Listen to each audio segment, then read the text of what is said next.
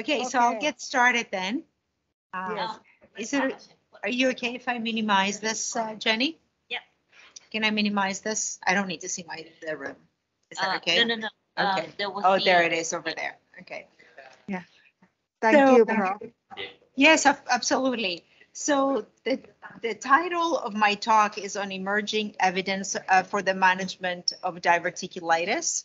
And um, I was asking Prof. Art, how often do you see diverticulitis? And he told me it's mostly a Western disease.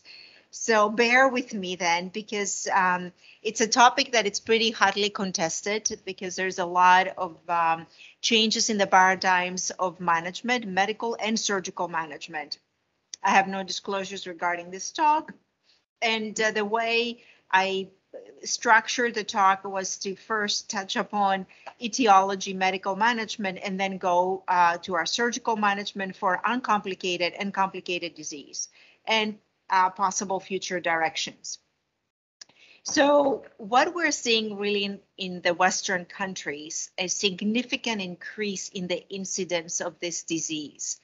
Um, needless to say, uh, a third of the colectomies we do are because of diverticular disease, particularly in the United States. And, um, and the rate of the disease going up, we think it has to do a lot with the environment. And when I say environment, I don't only mean diet, but also lifestyle and a, and a little bit of hereditary. Now we have an appreciation that it has some hereditary component. And interesting enough, when we talk about diverticular disease and diverticulitis, the inflammation of that diverticula, um, a lot of times it may present as a colitic disease, like almost um, parallel to an inflammatory bowel disease. And also what we see, a lot of the uh, gut innervation to be changing according to the, with it, because of the inflammation and start seeing um, irritable bowel syndrome and motility disorders. So it's very common to see patients that have suffered from recurrent diverticulitis presenting with irritable bowel syndrome that you don't re- treat as they are inflamed actually at the time. And we have divided, this is the one thing that has stayed stable in how we understand the disease. We call it uncomplicated when you don't see uh, necessarily an abscess, when you don't see a fistula or a stricture versus complicated. One would argue on the screen on the left, where you see the very, um, uh, the further up on the left, when I see a diverticular uh, flare to that extent, it's interesting that that will call uncomplicated. It's pretty um, inflamed colon and highly unlikely that it will resolve on its own. However, that would be still uncomplicated where you see on the right on the screen the colovesicular fistula with air in the bladder in the upper uh, right side, in the right side as well on the lower part, you will see um, a diverticular abscess. So that's what would be a complicated diverticular disease. And when we wanted to, um, according to the CAT scan, we can, because almost every patient with diverticulitis will be imaged.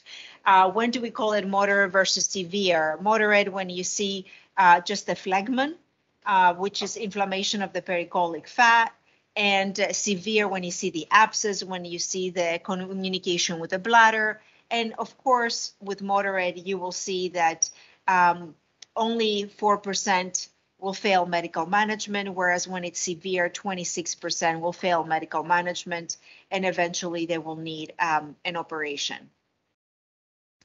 And in also in the States, because I also scope and I frequently, when I do the colonoscopy, I have to tell you, it's rare that I will find a patient over 50 years of age without the presence of diverticula, like um, rare and uh, it's it's very um, i get impressed. I even will share with the patient i did not see any diverticula in your colon because it's so very common. And we used to believe that the presence of diverticula which is diverticulosis will lead to diverticulitis in a high percentage. And we know that's a myth now. The most recent data um, will call for 1 to 4 percent evidence of diverticulitis with uh, diverticulitis for patients that have diverticula And the way we understood it, and that is has not truly changed, is that uh, we thought that it was secondary to our poor diets, at least in Western countries, where we um, really consume high amounts of red meat, processed and unprocessed, and not so much of vegetables, fruit, and overall fiber. And um, we are we were basing those studies on a um, that we had in the 80s and 90s. We had big nurse nurse health population studies, and we studied a lot of different things: cardiac disease, colonic diseases, and one of them was diverticulitis. And we had found that it was inversely related to the amount of fiber they were consuming, the incidence of diverticulitis. Now, diverticulitis is a structural abnormality. It's that herniation in the colonic wall, which is usually anti-mesenteric. Now, of course, we see it also mesenteric. And we thought that it had to do with the older population, although we're finding out that younger and younger people are getting it. Um, it's not uncommon actually to see um, patients age uh, 30 to present with an acute flare of diverticular disease. And genetics, when before we did not um, understand it, we know it's familial. Actually, there are twin studies that show identical twins with a three times risk. If one twin had diverticulitis three times higher than the general population, the other twin will develop diverticulitis as well. And there is the there are a couple of genes, the TNFS15 you see here, and a couple of others that code for elastin and laminin um, those are the genes that we see in single nucleotide polymorphisms in those genes that we attribute the diverticular attacks. And this is the health professional study that I mentioned to you. These are from the 80s all the way to the early 2000s. And they actually found that it's in the incidence of diverticulosis was inversely related to fiber, uh, to the amount of fiber intake. And actually, we used to think that it was not in popcorn, it was a myth uh, clearly has nothing to do with diverticular disease. In, in particular, there was one study, 2014, that was published that um, actually 2011 and then another one in 2015 that published that it said it was a seasonal disease because we see an incidence of diverticulitis much higher in the summer than we see it in the rest of the seasons. And I think it has to do probably with dehydration and not eating right. However, um, not truly um, know why the etiology would be. Uh, the other very interesting study, because I do believe that it has to do the microbiome, the gut bacteria that will cause the flare.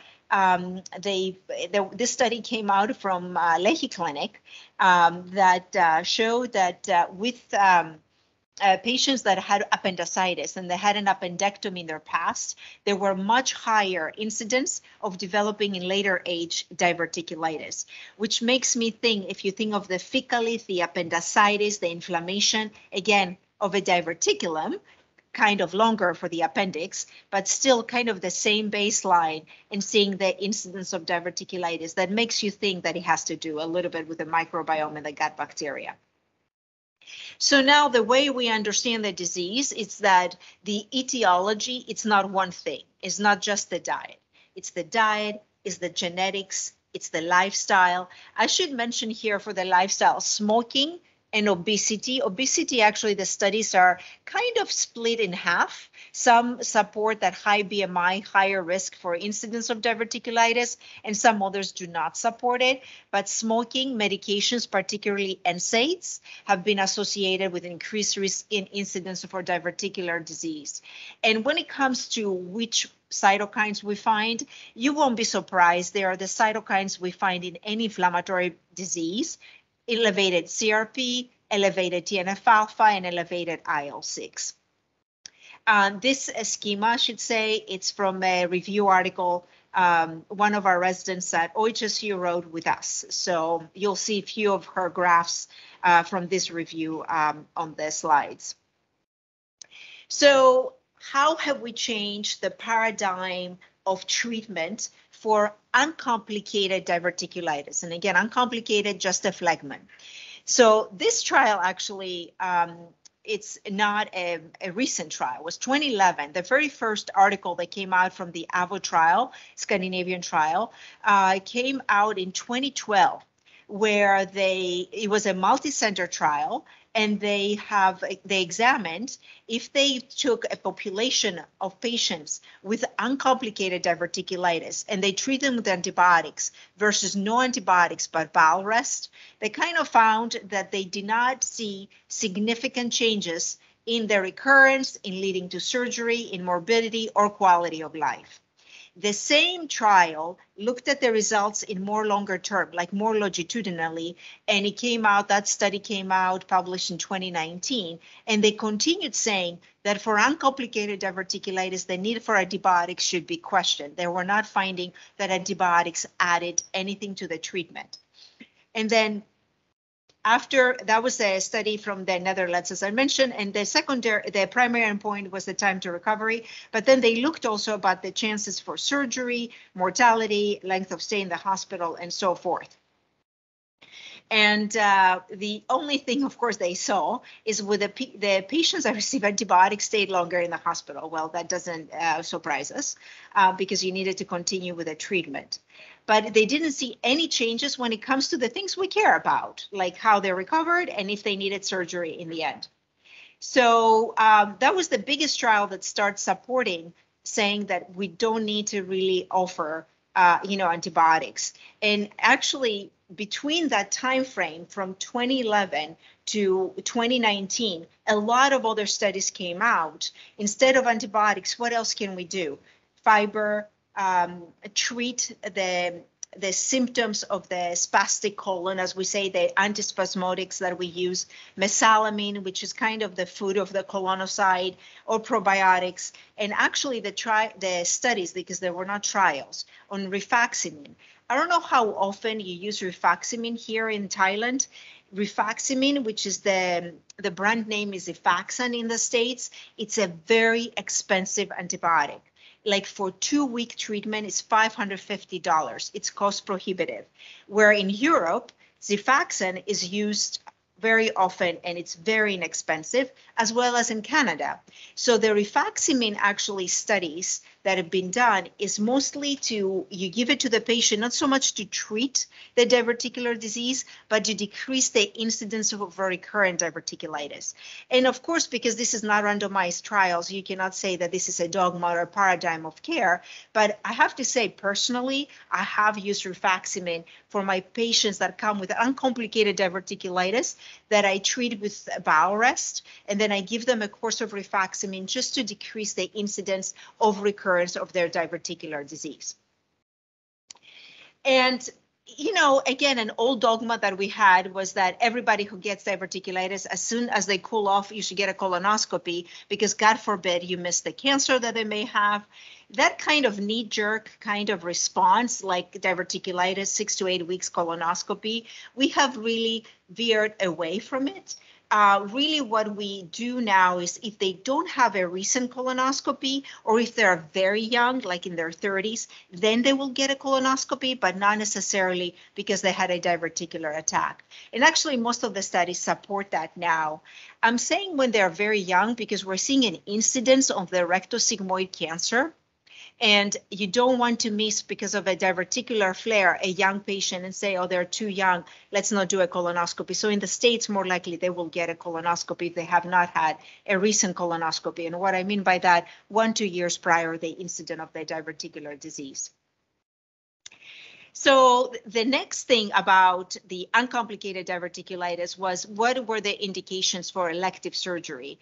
And oh my God, we went uh, from one attack to surgery, two attacks to surgery. Every time you get an attack, uh, you know, you increase the risk for this, the, the subsequent attack, you better go into surgery. And now we have completely like changed that and we tailor it to the patient.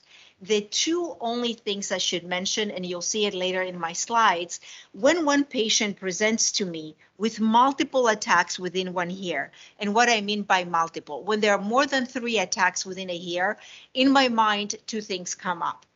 I never killed the disease. So there is a smoldering diverticular disease that I never treated completely, completely, either with antibiotics or bowel rest, or for whatever reason, they're predisposed.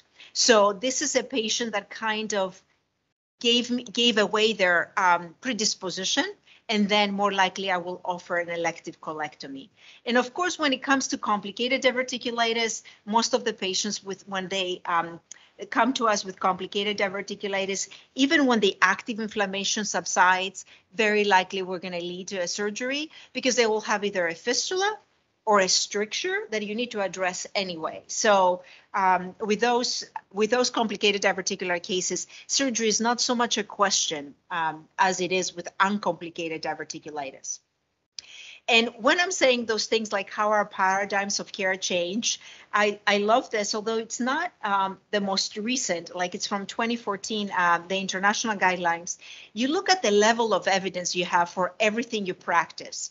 And if you see here, everything that we use when it comes to diverticular disease, from clinical diagnosis, the accuracy of CT, the risk factors, and you see what is the level of evidence that we preach to our students, our trainees, to our peers. And if you see where we have really 1A and 1B level of evidence, it's only on very few of those, um, you know, um, how can I say, uh, factors that really contribute to how we um, formulate and implement our care.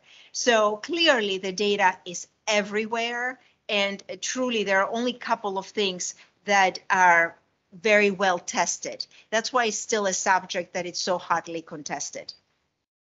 So they say study the past if you would like to define the future and that was Confucius and that's really how we are changing our guidelines. So the elective resection after two attacks, to complicated diverticulitis right away, we have changed quite a bit since then.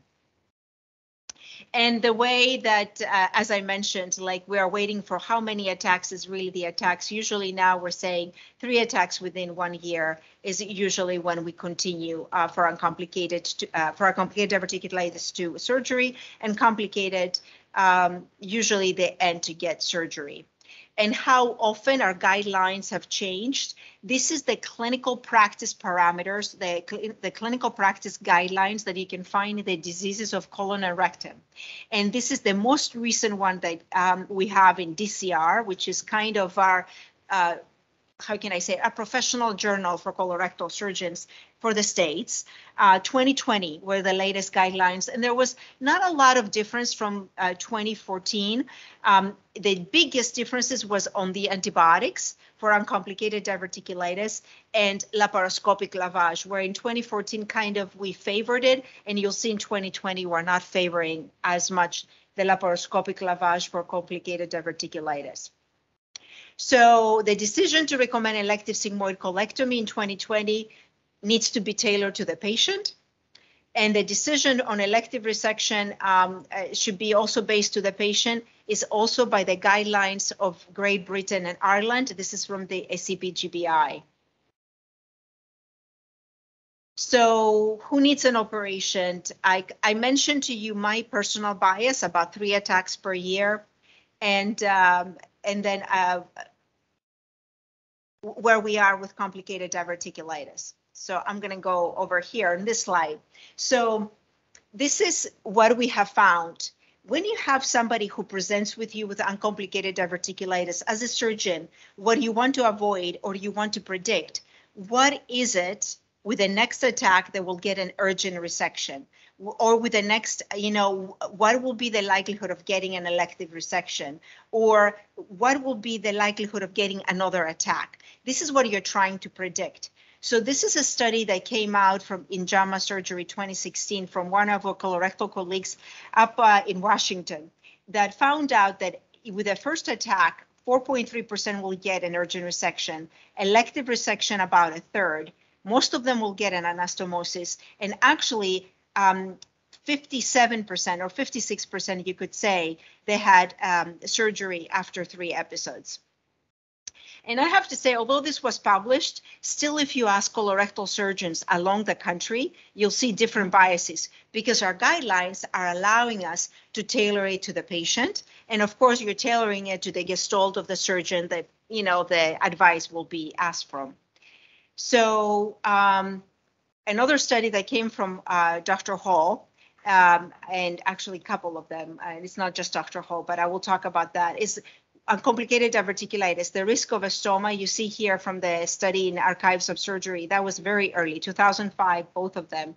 You saw here that it was one out of 2,000 patients needed and you know um, surgery. Perforation from the first attack, 25%, second attack, 12%.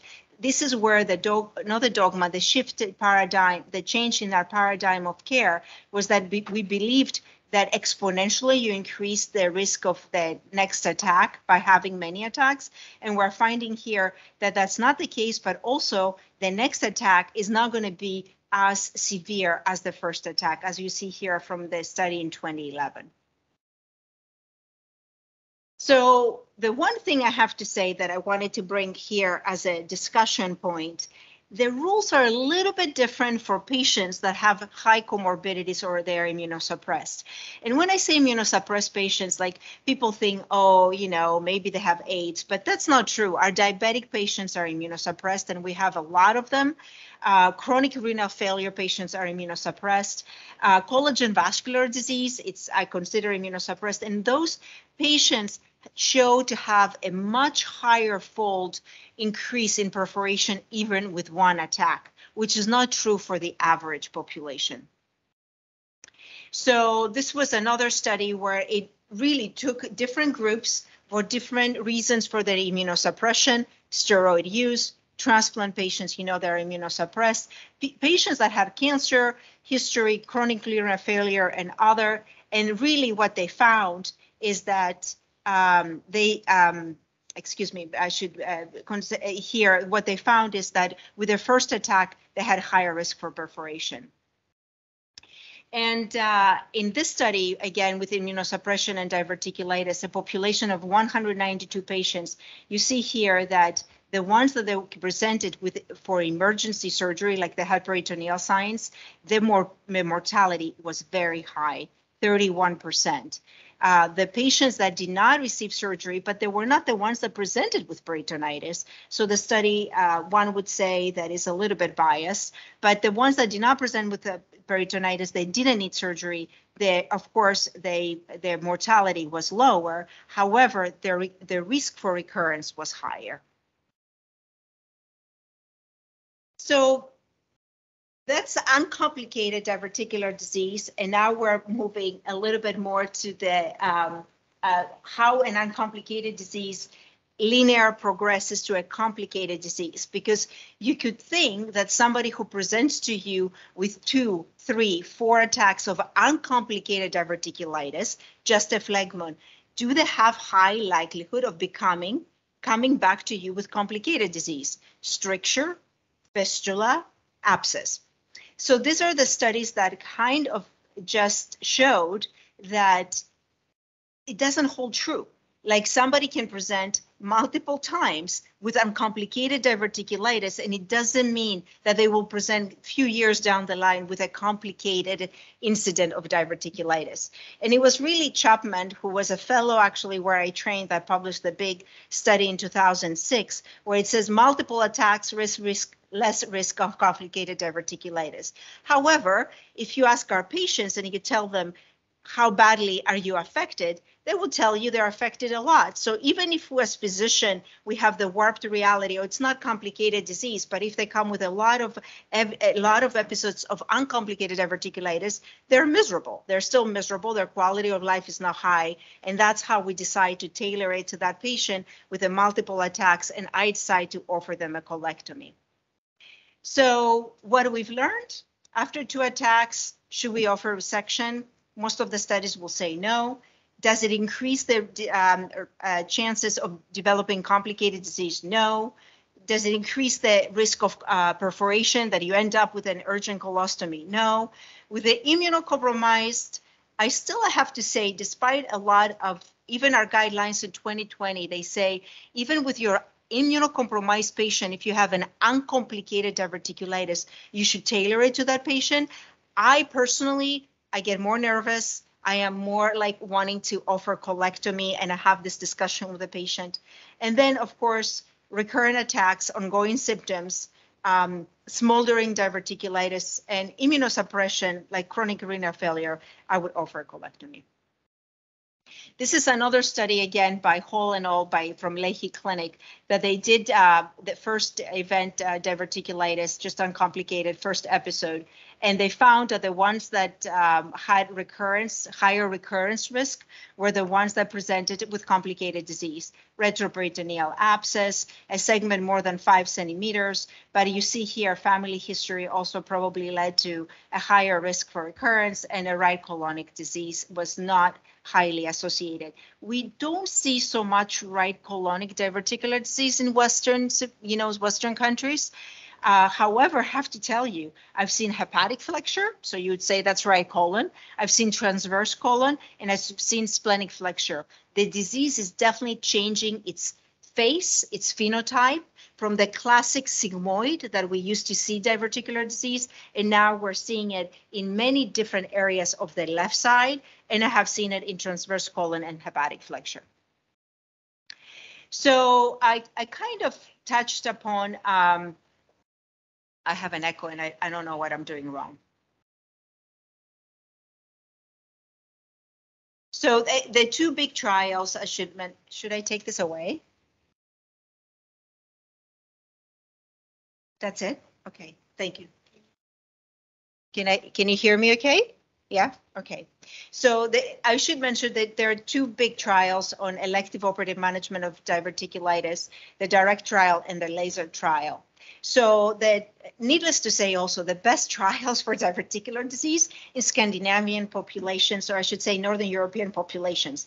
So you'll see the direct trial and the laser trial, uh, direct from Netherlands, laser from Finland, uh, kind of very similar trials uh, that um, they, they talked about um, about surgery when it comes what is best, like do the surgery, the elective surgery, and what their primary endpoint was quality of life. And interesting um, enough, uh, they found in both trials two different populations, but again, one would say Northern European, uh, that the quality of life was better um, for elective uh, colectomy and uh, significant higher quality of life. So this as a surgeon makes you happy, but um, anyway, but again, uh, they had, of course, higher morbidity in the surgical group, which makes sense. If you offer surgery, you may have complications, you're going to have some morbidity versus the observation group. And those two trials, in my mind, are kind of showing the same the same thing um, and pretty similar in time.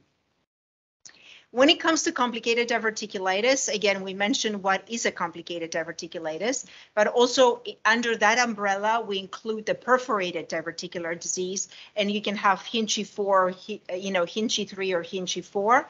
Hinchey 3 we often call the purulent peritonitis versus Hinchey 4 is the fecal peritonitis.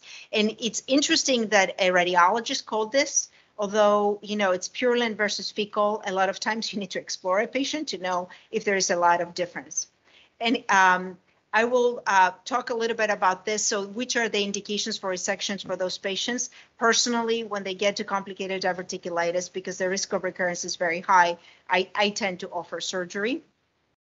And here I wanted to again bring up the point that we see diverticular now in our colonoscopies throughout the colon. It's not like how we used to see it. So it's not uncommon for me to see diverticular disease in splenic flexure, transverse colon, and so forth.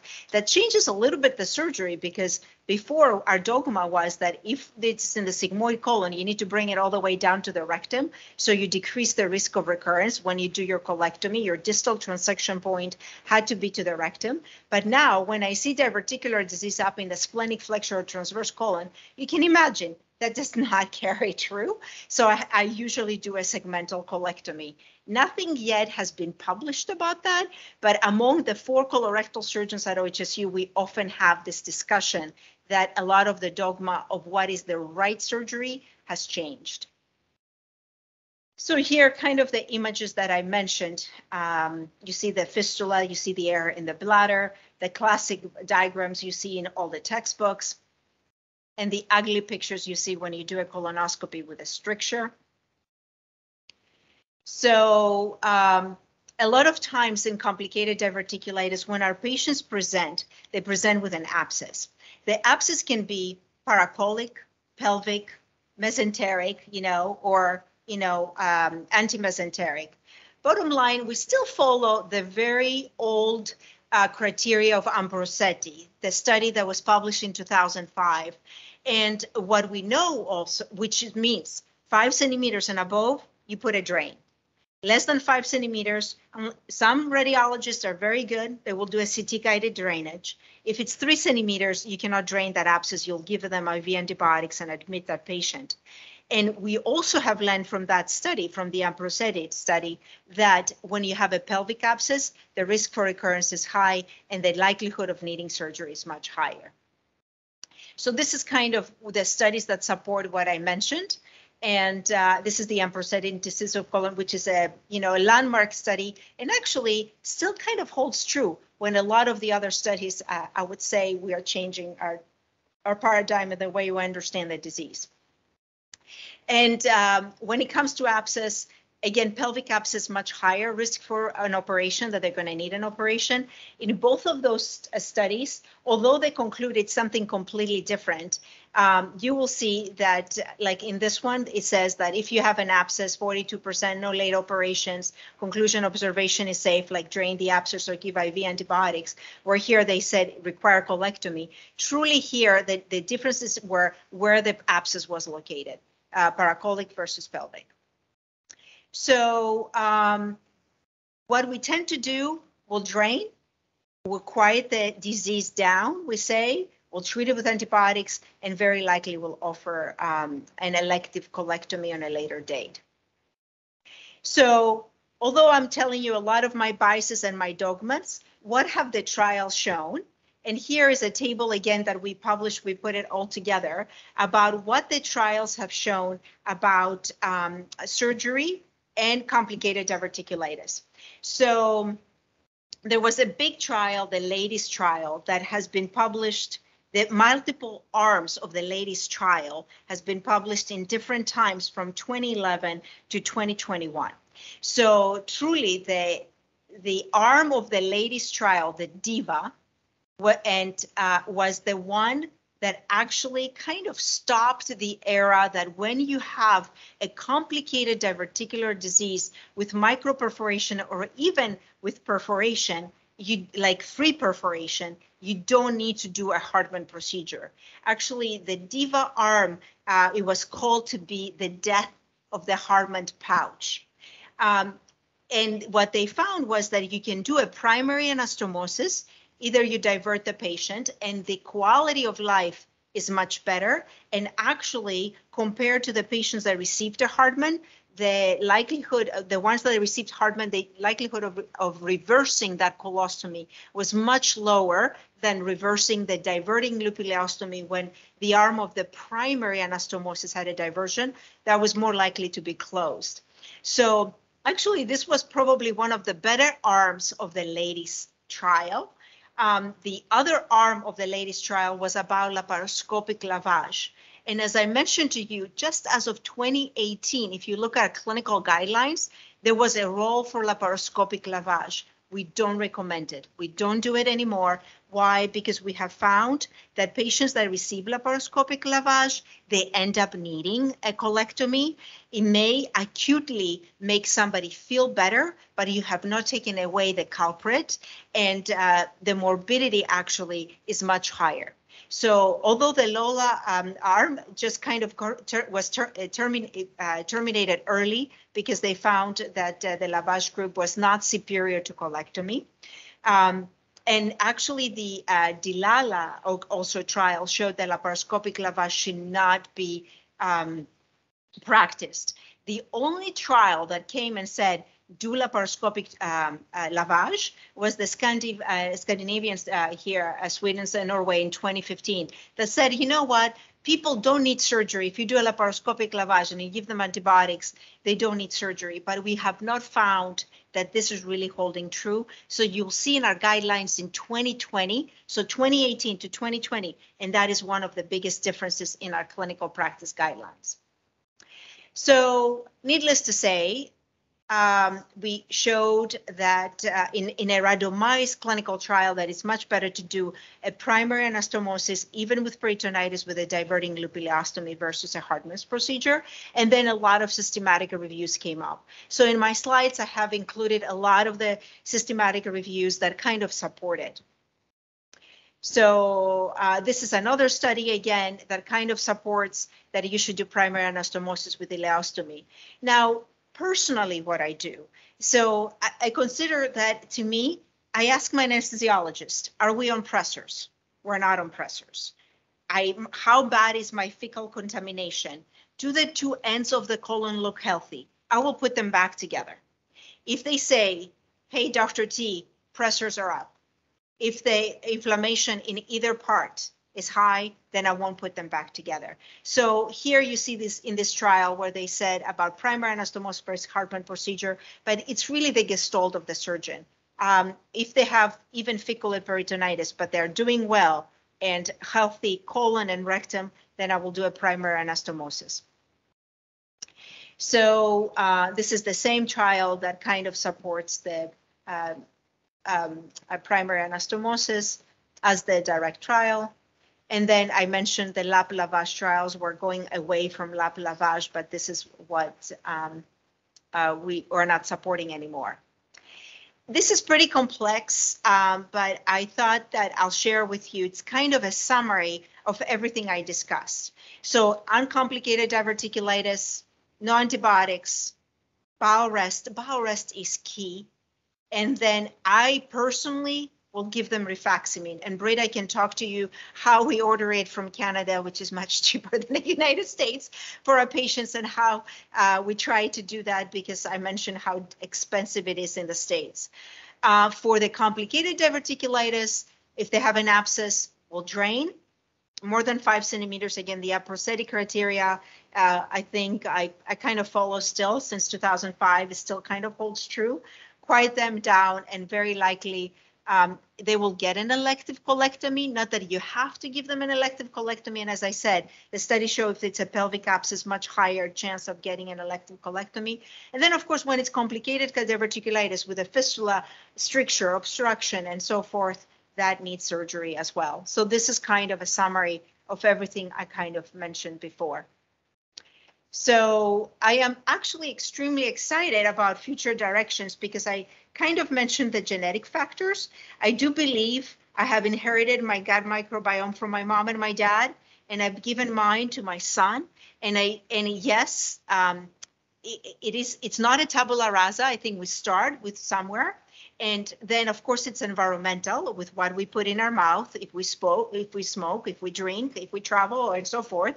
However, I think there is a genetic component, even in the bacterial uh, you know, that we have inherited. Uh, so I am excited about those studies, learning more about this and how possibly we could prevent it from happening in the in for our future generations, for our you know kids. And with that, I'm going to say thank you, and I'll receive any questions. And you can have the slides and the review I used. I have it here. It's a review I wrote uh, with a couple of our residents, so I'm happy to answer any questions.